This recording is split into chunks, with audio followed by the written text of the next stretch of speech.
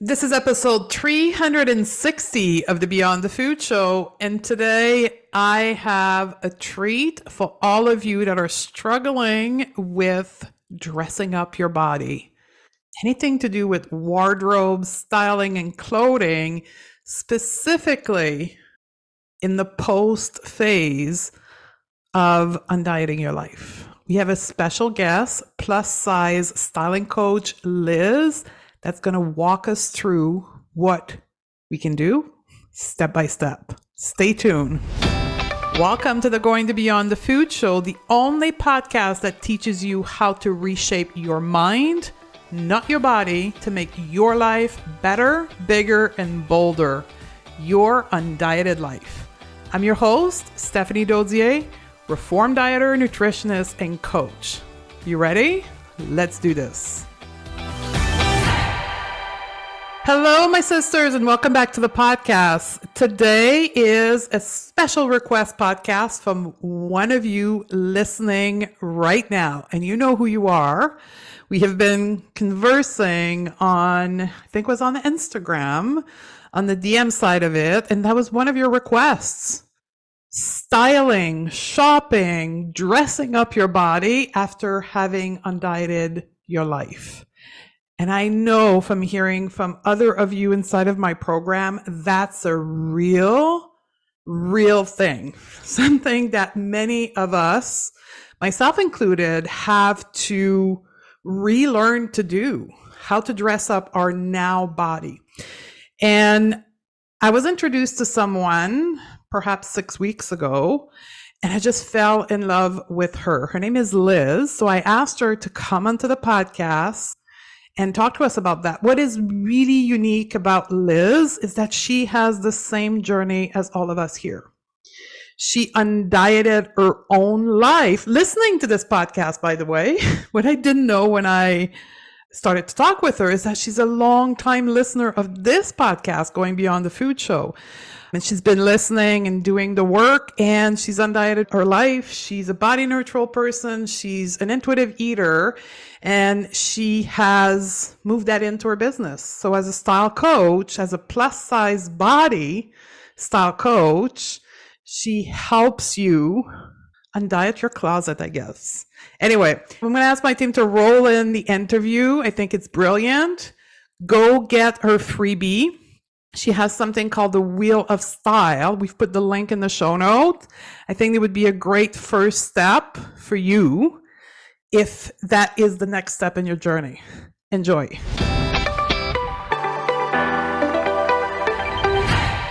Welcome to the podcast, Liz. Thank you, Stephanie. I'm very happy to be here. I'm excited to put a face on the DM conversation. Uh, Me too this conversation we're going to have today was driven by one of my students who sent me a DM about clothes that I was wearing, was asking me how did I create my wardrobe. And I'm like, well, I just do. But I'm not the best person to answer those questions. And you happen to show up in my feed. I'm like, oh, this person, this person can help me. And here we are, four to five weeks later, we're having a conversation about helping you, listener, I guess, come into your style, come into yourself through your style. Is that a great way of saying what you do? Absolutely. Absolutely. What I do is I use your innate style traits, your style biology to help you take conscious style risks, build a wardrobe, and celebrate yourself every day. This is amazing. And for those who, you'll know Liz after the show when you go and follow her, but she's in a larger body. So she's not like, in the 10 ideals and she's stylish and she coaches people in larger bodies. So, you guys, she is your person you want to go and follow. So, here's a question that started the conversation, and then we can start from there. One of our tool that we use in body neutrality is the circumstance of our closet. Mm-hmm. And nearly all of my clients that do my program have a section of their closet that's like the thin version of themselves and the expensive clothes and all the tools of the past, and it's there. Mm-hmm. And every time they walk into their closet, it's like a trauma happening. every morning they see that part of their closet And it's almost impossible to get rid of the stuff and bring new clothes in. Yes. How can you help us with that? Can you walk us through that? This circumstance you're describing is so common. It's so, so common. I see it all the time. Almost all of us have at least one piece, but many of us have many pieces that do not fit, are never going to fit again, and we just can't let it go. So I approach this in several ways with my clients. I have them reflect back to their core values, which we define at the beginning of our process together. And I have everyone establish three core value words that are going to guide all of our actions throughout our coaching journey. And almost never is someone's core value word thinness or attractiveness or desirability or restriction or anything even remotely approaching those words. And there are usually two reasons why we hold on to these things. One of which is what I call the motivation fallacy. Either we think that this collection of clothing is going to somehow motivate us to lose the weight so that we can get back into those clothes, which I then remind my clients when was the last time bullying got you a mm. desired result in your life? Because that's what's happening here. Or the second circumstance under which these clothes tend to accumulate is what I call, or what I refer to as scarcity mindset, which can affect many areas of our life. But we've found this piece, it fit at one time, we loved wearing it, maybe we made some special memories in it. And we attach this finality, this this finite amount of possibilities, and we attach it to this garment of clothing. And that's very limiting. It's very limiting in our beliefs. It's very limiting in the utility of this item. And I just remind people like, this is not your only piece of the pie. Trust yourself to have the resources and to be brave and to be curious about replacing this item with something that's actually going to serve you now cherish those memories that were attached to that piece for what they were. Be grateful for that. And also trust yourself to let that go and believe that more of that joy and more of those experiences are all ahead of you. There's more mm. ahead. We don't need to live in the past. And that's what we do a lot with our clothes. I love that because it is in part scarcity mindset, and that's what diet culture does. Right? The not enough syndrome. I always say how we do one thing is how we do everything. And you just now taught me that it shows up into your closet and the way you deal with clothes in the same way it was with food and the body size and the finances. It's just, it's the how we do one thing is how we do everything. Yeah, absolutely. I tell people all the time it's so not just about the clothes. It's about your life, how you talk to yourself, how you function, and what you believe to be true. So let's go to the next step then. The person starts releasing, the woman starts releasing the clothes. The next level of question we get so, how do we go about investing, buying more clothes? And having all the old thoughts you shouldn't be buying that. And oh my god i'm this size. I didn't realize i was this size. And i don't know how to dress myself and everything is ugly. And i'm sure you can give me more thoughts but all those thoughts happen. How would you coach us through that? So luckily before we would even get to the point of purchasing new items we are going to establish unique criteria for each person. That's dedicated to the innate style traits that are already in you. So we've we know your colors, we know your body architecture, and we know your style archetypes, which are kind of your personality in clothing form. So when we are choosing clothes, we have these very tangible criteria that we're measuring clothing against so that when you are investing, you know you're purchasing the correct piece. Okay. And that is what gives my clients a little bit of permission to take some risks because they have done that work up front to feel secure in their choices. But let's say you haven't had your style biology done yet. You know, talking to your listeners right now, you haven't defined your style biology, but you know you need some clothes.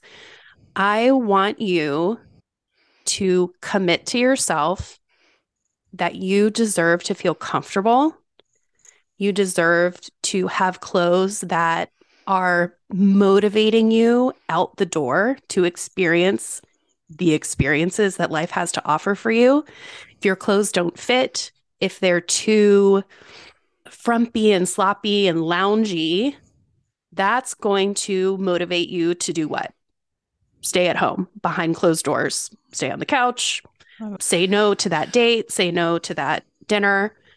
You deserve the pieces that are going to make it easier for you to say yes to everything that life has to offer. So if you think about the what you'll be doing in these clothes, hopefully that will make it a little bit easier for you to take the leap and take the plunge. Yeah, it's like an added layer of safety, an added layer yeah. of direction towards what you want in your life. Right. Exactly.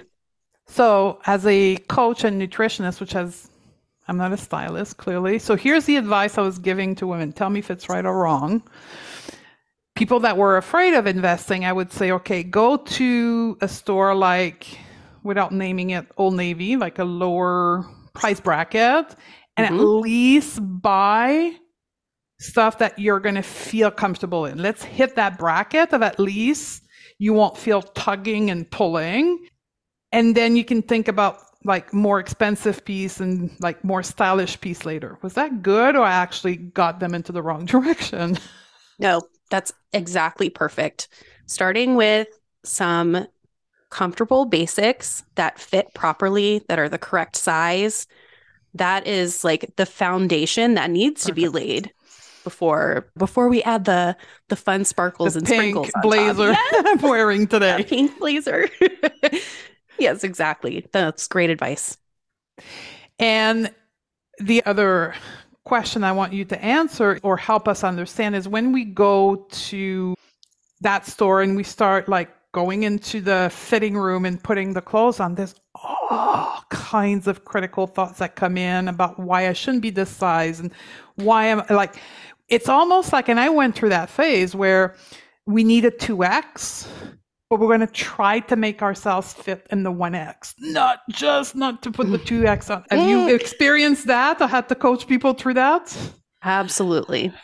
Absolutely trying to make something work that isn't working yes is the quickest way right back to dissatisfaction with your closet that is Ooh. like a one way ticket to hating your closet all over again so it's a very similar self conversation that needs to happen, just like when we're relearning how to eat or how to avoid that tempting new diet. Mm-hmm. It's, you know, putting kind of a stake in the ground and looking yourself in the eye in the mirror and saying, no, I'm not doing this anymore. What has gotten me here is not going to get me where I want to go. And you can make that choice to not entertain those that negative self-talk you can make the choice to believe your next thought that's what i yeah. coach my client on what's your follow-up thought to thinking man i wish i didn't have to have this size. You get to pick that second thought. And i would hope that that second thought is that i deserve to feel comfortable. I deserve clothes that fit me properly and i'm not going back to that old way. That's beautiful. And I wanted to say, as you were saying those things, then per- perhaps the next level is when you feel comfortable with those basic is how can I express myself through my yes. clothes? I'm at that stage now, like I'm ahead of all my clients, obviously, but I'm at the place where clothes serves a form of expression. Absolutely, it does. Like it Absolutely. speaks for me when I walk into a room. Yes, yes, that's exactly right. I ask all of my clients, how do you want people to feel when they see you coming? Oh, I like that question. Yeah, you haven't opened your mouth yet, but they see you coming. How do you want them to feel about that? And also, I could talk all day about how clothes are a form of self expression, but we all have different, kind of different goals for how we want to affect those yep. around us. And we have different goals about how we want to feel. So I just encourage everybody to see if you can treat getting dressed like playtime. It's Ooh, that's might it might have been a while since we had fun getting dressed, and that may feel very foreign and out of practice, but I think it's incredibly useful to channel your inner child a little bit and let him or her or them call the shots a little bit when you're getting dressed. And if you want to wear the cat socks, wear the cat socks. Let your inner child dress you for a day or two and see how that feels. Yeah, and it's also the part of taking back our space, whatever space it is for you, right? Claiming back your space because often if I turn back to years ago, it was like my closet was black. Mm-hmm. Right? Because I wanted to disappear, like I wanted to blend in and to make myself take less space. Where now my clothes are about taking place, like claiming the space and occupying space and getting people to turn in. And I get that's not the goal of everyone, but what space do you need, I guess, would be the question. Mm-hmm. Absolutely. I'm really glad you brought up color is such a powerful tool in your self celebration, understanding your place in the world. I know when I had my formal personal color analysis, I was shocked and I had a grieving process to let go of my fuzzy, muted gray colors. But it turns out I need these bright, splashy, rainbow, cartoon bright colors. And that felt very scary for me. But I embraced the process and it ended up, my colors taught me a lot about what it is to show up brighter, bigger, to be noticeable, to attract attention more often, and to trust that I can handle that and that mm. I am capable of handling that level of, yeah, taking up space Attention. and being a little bit louder. Yes. Absolutely. And it was a very valuable experience that I did not expect at all from having my colors done. Well, I was going to ask for those people listening that are like middle stages or later stages where it's about finding their style biology, and we'll talk a little bit about your method in a bit here. But how did that help you find your career, your goals? How did your clothing and expressing yourself in your clothing help other part of your life? Mm, wow. So many ways. Let's see if I can pick just a few. I think due to the timing in my life when I was starting to explore my style, starting to train as a personal stylist was around the same time that I discovered intuitive eating. So I went through this very profound personal transformation on the inside at the same time that I was going through this transformation on the outside. And I feel very fortunate that those two kind of catalysts for change in my life kind of occurred at the same time because right around the time that I was accepting my body for the size and the shape that it is, I was also learning how to dress it at the same time. Wow. And I think that those two, the partnership of learning those two sides of myself was extremely powerful. But to answer your question, dressing more authentically has helped me be a better mom. It's helped me be a better partner. It's helped me be more compassionate to other people. It's helped me to become more articulate, a little braver. I'm less afraid to speak my mind. I'm less afraid to volunteer for opportunities. I'm more open to like serendipitous occurrences like speaking with you today, meeting you on the internet and becoming friends because I've learned that there's a place for me in the world and I'm allowed to enjoy that. I'm allowed to enjoy my place in the world. And I think clothing did that for me. We are allowed to express ourselves, and it doesn't have to be through clothes. But for those of you who want it to be through clothes, there's a process and a path for that. You can express yourself through other form of art.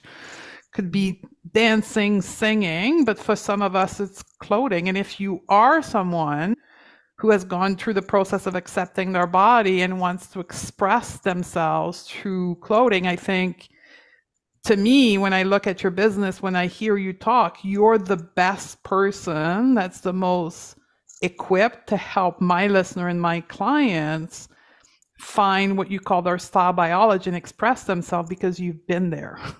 Yeah.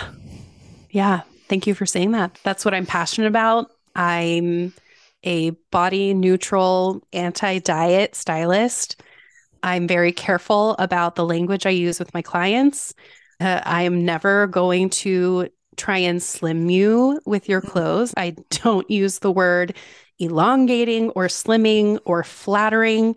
It's all about your actual values, of which I doubt looking as slim as possible is one of them. So I really try and I make a very conscious effort to make my coaching a safe space for women who are dealing with the heavy work of accepting themselves, embracing a more positive body image. And I think going through your closet with a loving, supportive professional, just like relearning your eating and undieting your life with a supportive, loving professional brings about really profound change that can last a lifetime. Um, yeah, absolutely. Yeah. So I, I really tailor my programs to meet my clients exactly where they are, wherever they are, and to kind of collapse time between where they are and where they want to be with their aesthetic expression. I love that collapsing the time. Like you can do it on your own, but you can also do it in a much simpler, faster way through your process. The same thing for me. I mean, you can learn intuitive eating on your own, or you can do it with us, and we're going to do it in twice as less amount of time in misery and suffering. Yes, yes, exactly. Yes, exactly. Talk to us about how you help people. I know you have your methodology, style, biology, method, but what does that look like for anybody interested listening to the podcast? Sure. So there are three pillars of style biology. The first pillar is your personal coloring. I do color analysis Ooh. for all of my clients. Yes. So if you've heard of color analysis, that's the art and science of determining your season. They're named after the seasons of the year summer, autumn, winter, spring. So all of my clients learn their season. The second pillar of style biology is your body architecture. So I don't like to talk, I don't say body types. I don't call you mm. a fruit shape. I don't call you an inanimate Hair. object shape. we use geometry. We're talking about angles. We're talking about curves. We're talking about shapes and the tension of clothes and how your clothes are going to behave on your specific body architecture. And I make sure all of my clients know that the way they were built is correct. Mm-hmm. It's not an accident. And it's a result of generations and generations of miracles to get you here on this planet at this moment. And I think that's pretty special. So we go into depth about your body architecture so that you can understand how clothes are going to behave. And then the third pillar is your style archetypes, which is kind of a fancy way of saying your personality translated into clothing language. So we're all, yes. So we're all drawn to certain details, certain shapes, certain angles and textures, mm. patterns, things like that. And that's all part of our personality. There's a direct link between how you live and what you're drawn to visually. So once we have those three pillars in place, we have a very clear list of criteria to look for items that are in the right colors for you, that are going to behave on your body and have those details that make your heart smile. Yeah. Once we do that, I walk you through editing your closet very intentionally, very systematically. Yeah. With a hand to hold and to support you all along the way because we all know that can be an emotional process. And then once we're done editing your closet, we have a very clear plan together of where your gaps are that have critical pieces that need to be filled in. And as your personal shopper, I become your, you and I become a client stylist team to fill in those gaps in you know order of priority very consciously according to your budget so yes. that it makes sense for you and then you're left with a closet full of clothes that feel like your best friends that you're excited to wear Okay, I want you to say one thing. The other thing I hear a lot about is I don't know where to shop. There's not a lot of choice. And we're talking about Canada and US mainly people. Can you say, is that true or not? We live in magical times where you can get on the ah. internet and a little box or a big box can show up on your doorstep full of treasures that are exactly right for you. So, does it take a little bit of sleuthing, a little bit of trial and error, a little bit of bravery to try some new things and order from some new places? Absolutely. But there are myriad options for every style, every size, every personal coloring out there. And that is my, this is the hill I die on. If you have a body, there is beautiful style for you. And you are there to help your client direct them to some spots for them to do that shopping. Like they don't have to go and search the internet. You'll direct them where they can go. Yep. Not only that, I will pick the exact item that I want you to order. oh, I know this is not something that's accessible to everybody, but if it's something that's financially accessible to you, do you know how your life is easy? I had to go through three years of like return and not fitting and like, oh my God, that doesn't fit. To find the three stores now that I know when I order a piece, it's going to fit on me in that size. Yeah, that's right. You know, the average woman has over $3,000 US dollars of unwearable clothes yeah, in her no closet. Doubt. And my promise to my clients is that you will end the buying mistakes by the time I am done with you. so you invest up front and then mm-hmm. you get your system of what you should and shouldn't buy, wear what you need, and you end up having a better closet that fits you, that express you, and it costs you less. That's right.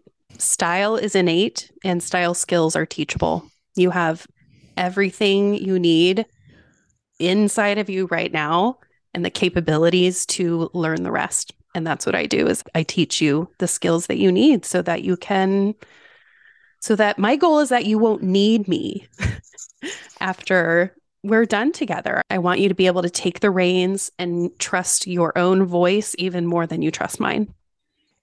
And I'm going to add, and no matter what the size of your body is. That's right. Because yes, we ma'am. hear that, like stylists like you talk, and then we land on their website and it's just young, thin body. And we're like, like, no, like this is an offer for people in all body size. And if you're in a larger body, she's in a larger body and she can do all of that for you and it, you're not an exception. You're not going to feel like an exception to the rule. That's right. That's yep. beautiful. Where can people find you? You can find me on instagram. My handle is at rise.styling and you can find me online at risestyling.com thank you anything you want to mention that you think is important before we end this interview if I could impart one thing, if there was one thing I wanted everyone to take away, it's that we have one life and the way you dress yourself is the way you think about yourself. So if you open your closet and see a disconnect between what you know to be true about yourself and what you're seeing, come talk to me. Yeah. Doesn't Let's have to be that, that way. Gap. Yeah. That's exactly right. We can close that gap. Thank you, Liz. Thank you, Stephanie. If you are loving what you're learning on the podcast, you have to come and check out Undiet Your Life. This is where we get to hang out together, where you get the individual help applying the concept thought on the podcast while learning new coaching tool that will make your life even more amazing. It's also where you get to apply the learning to think better, eat better, and feel better, and create your undieted life, your better, bigger, and bolder life. Go to stephaniedodier.com forward slash join. I'd love to have you join us inside of Undiet Your Life, and I'll see you on the other side.